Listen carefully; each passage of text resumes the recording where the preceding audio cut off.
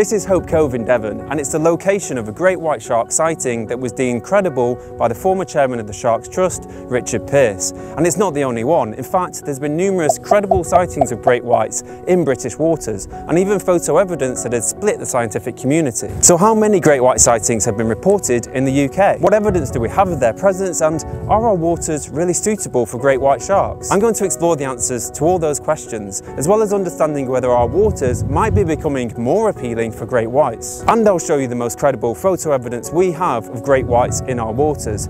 But to do that, first I need to get off this headland.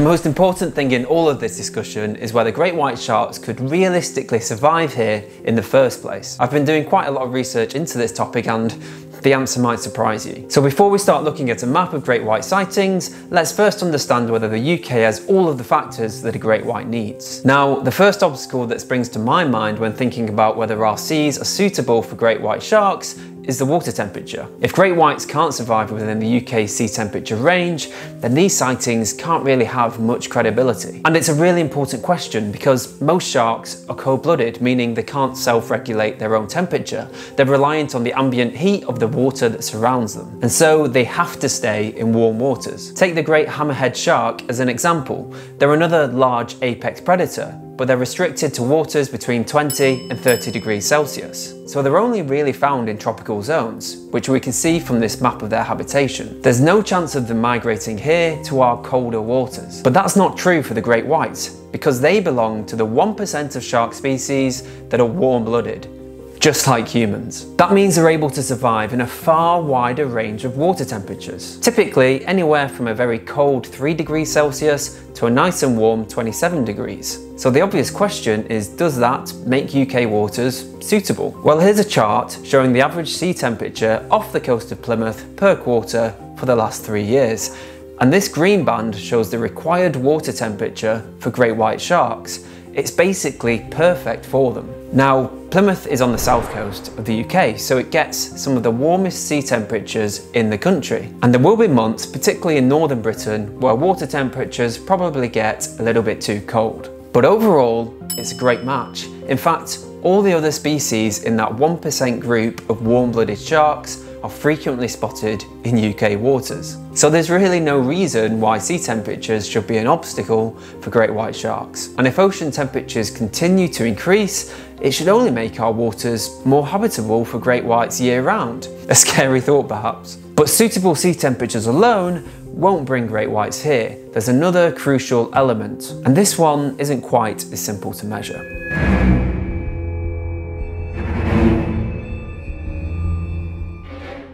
As you'd imagine, a big shark needs big prey. Seals are the perfect prey for great whites and it's their favourite source of food. And we do have seals, predominantly the common seal and the grey seal. In fact, the British Isles are home to 40% of the worldwide grey seal population. So all that sounds pretty good news if you're a great white shark. But the thing is, seals aren't the only large mammal found in our waters. There's always a bigger fish, even in this case it's technically not a fish. Orcas, otherwise known as killer whales, are great white's only natural predator.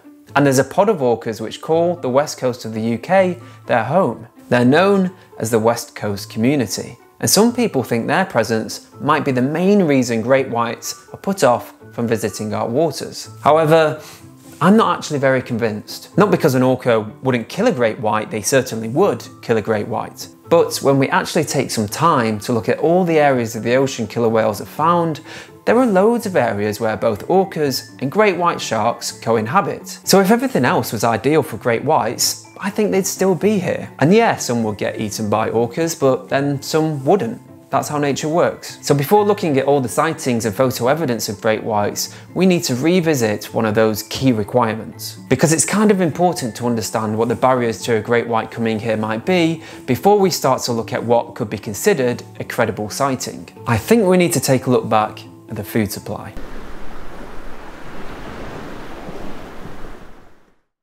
We've already discussed how great whites love nothing more than a juicy seal, and we do know we have lots of seals here in the UK. But if we look with a bit more nuance, we actually start to see that our numbers are really quite small when compared to other areas of the world. The total UK seal population is estimated to be around 180,000. It sounds like a lot, but as a comparison, Southern Africa, a hotspot for great whites, has a seal population of around 2 million. That's 2 million. That's over 10 times the numbers that we have. And while Southern Africa is a far, far larger expanse than the UK, it still wouldn't make much sense for a great white to migrate all the way up to the UK and colder waters for the prospect of way fewer seals, particularly if it's then going to be attacked by orcas. And there's another massively important point to make about that UK seal population. And this is really vital to understand for when we look at the best photo evidence we have of great whites later in the video, because only a fraction of those 180,000 seals are thought to inhabit southern Britain.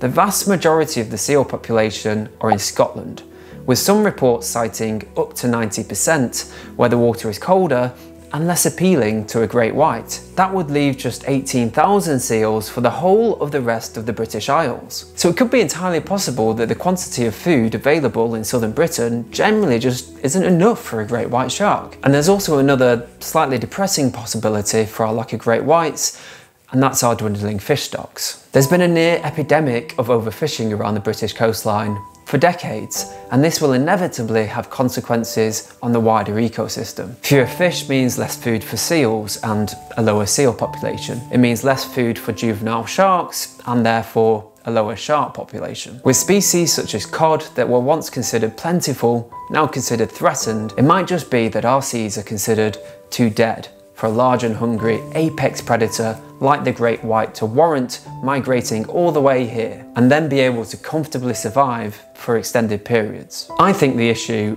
is mainly a food supply issue. Now hold on to that thought and let's start looking at the location of some great white sightings. Whilst there have been no confirmed sightings of great whites on our coastlines, there have been a number of sightings reported. Wildlife conservationist and former chairman of the Sharks Trust, Richard Peirce, has led investigations over the last 15 years and followed up on nearly 100 claimed sightings of great white sharks around the British Isles. His conclusion is that 12 of these sightings remain credible and that some of those are likely to be the same shark, bringing the total number of potential individuals down to around seven with one of those being at Hope Cove, where I was earlier. I'll show you the photo evidence for one of those sightings shortly because it's that evidence which is crucial to understanding what's considered a confirmed sighting. For a confirmed sighting, there needs to be a quality photo or video evidence in which the shark can be categorically classified, and quite rightly so, but of course, when it comes to photographing ocean species, it can be tricky. There are creatures I've talked about on this channel where there's only ever been one or two confirmed sightings of them, so whilst those seven potential sightings don't constitute official proof of great whites, any lack of confirmed sightings is also not categorical proof that great whites don't visit our shores, especially when we look at some other countries where there have been confirmed sightings of great whites. In 1977, a fisherman off the coast of La Rochelle in France caught a juvenile great white, which is about as confirmed a sighting as you can possibly get. Great whites will swim thousands of miles in search for hunting grounds, as we can see from this tracking data for a great white roaming along the American coastline. So the distance from La Rochelle to the English Channel is near enough a trip to the corner shop for a great white shark. And great whites are spotted all the time off the coast of Canada. In fact, two great whites were tracked down earlier this year in the Gulf of St. Lawrence near Quebec, now you're probably thinking, what does Canada have to do with the UK? But the reason it's interesting comes back to that point on water temperatures. With the Canadian coastline experiencing similar temperatures to the UK, and in fact the Gulf of St Lawrence, where the sharks have just been spotted, tends to have colder waters than southern Britain. And then when we look at a map of great white habitation, it becomes somewhat striking that Britain is this strange anomaly, with the habitation area suddenly curving south and missing the UK entirely. Again, all the data indicates that water temperatures are not a limitation to great whites visiting our coastline. And although our food supply isn't great here, there is still a food supply. And that's why many shark scientists do believe that great whites have visited our shores. But just before we take a look at the most credible of those UK sightings along with the photo evidence, there's one last super important factor to mention for why the odds of seeing great whites in UK waters are just so low.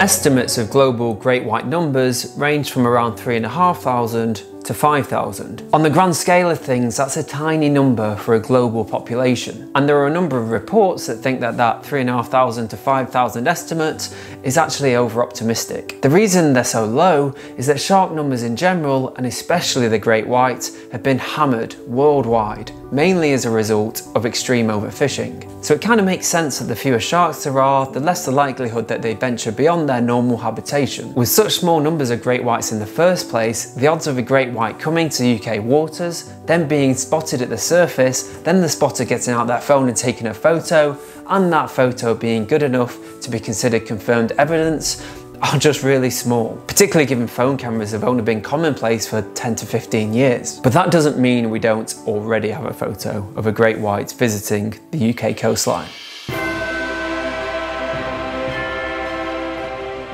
This picture was taken by fisherman George Carter off the northeast of Scotland, and it's one of the most credible claims to a great white shark being spotted off the British coast. It features a shark caught in his fishing net, and the context of this story is where everything we've already discussed about the requirements for great white sharks starts to come together. This event happened during a 2003 heatwave, which saw the hottest temperatures ever recorded in Scotland since records began, and which would have undoubtedly raised the sea temperatures, making them more appealing to great whites, and therefore the shark would be more likely to venture up to northern Britain. And we've already discussed Scotland is where the vast majority of our sea population is found, with around 160,000 of them. All of a sudden, this area of the North Sea becomes the perfect habitat for a great white. And we get a photograph of what looks like a great white at the exact same time. That doesn't seem to be a coincidence. And it isn't just the fishermen who thought this shark was a great white. This picture was evaluated by two world-renowned shark experts, Ian Fergusson and Leonard Compagno who independently said that had this picture not been taken in Scotland, they would have instantly identified that shark as a great white. The very fact that there hasn't yet been a confirmed sighting of a great white in the UK is one of the main reasons why they were so hesitant to confirm that picture as a great white, which is kind of ironic. But to be fair, this photo just doesn't display enough of the shark to be considered concrete evidence for a confirmed sighting. Even so, Ian and Leonard concluded that there was a 60% likelihood that shark is a great white, and a 40% likelihood that it's a short fin mako. Unfortunately, we'll never know for sure, but there's a good chance that we won't have to wait very long for a confirmed sighting, as great whites might be making their way to our coastline sooner than anyone thinks. The rapid decline in many fish stocks is slowing, Indeed, some species are starting to see their numbers increase, and if we can move towards a future with more conservation-minded fishing processes, we'll start to see huge changes to the ecology of our oceans. More fish means more general life in the ocean, it would mean more seals, and it would mean more sharks. So if we do continue to move forward with more sustainable practices in fishing and give our sea life a chance to recover, I think that we will see confirmed sightings of great whites here in the future. It might be two years, it might be 20 years, but far from being a sign of terror, it'll be a great sign that our seas are starting to recover. Whilst we might be waiting a while to see great whites in our waters, there are other dangerous creatures which are already making their way here in their hundreds, maybe even thousands. Last year saw huge numbers of Portuguese man o' war on our coastlines. And the reason why is probably not what you think. So to learn more about why this deadly creature has been visiting UK shores, you need to watch this video here with research into the rapid increase of man o' war sightings in the UK that you won't find anywhere else.